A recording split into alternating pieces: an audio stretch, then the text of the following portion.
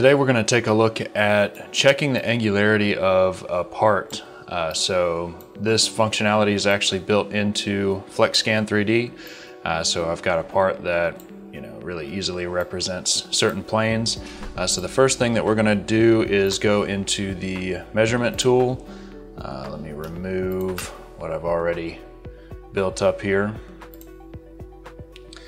So we're going to create a plane by selecting points.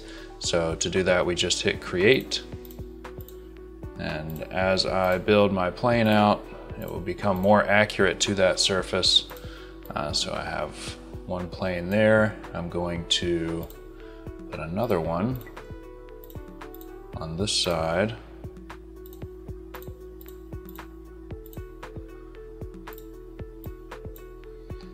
And then you can check distance, but we're going to calculate the angle of these two planes, uh, which is usually really difficult to measure by hand, uh, which is why this tool is so valuable.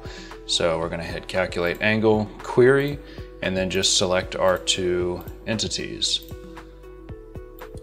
And we have our angle right there. Um, you know, you could just take a screenshot of that or copy and paste it into a spreadsheet for an inspection.